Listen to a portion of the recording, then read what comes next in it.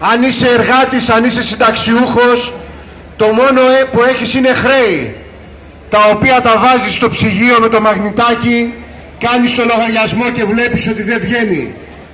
Είναι πρόκληση σε μια τέτοια κατάσταση όταν περνάνε δισεκατομμύρια πάνω και πίσω από την πλάτη του λαού με τους διάφορους πάτσιδες και με τις διάφορους καελίδες οι εργαζόμενοι να μην τους φτάνει ο μισθός ούτε μέχρι τα μέσα του μήνα.